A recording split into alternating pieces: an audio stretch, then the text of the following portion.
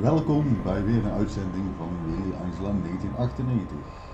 Wie nog gauw wat coins wil verzamelen op een snelle manier voor de factions, ga naar hetgene wat ik op de stream aanwijs. Kill 6 stuks van de bommen zo snel mogelijk. Laat je eigen killen door de laatste zesde bom en je spant weer hierboven en je kan weer terug naar beneden om de volgende te pakken.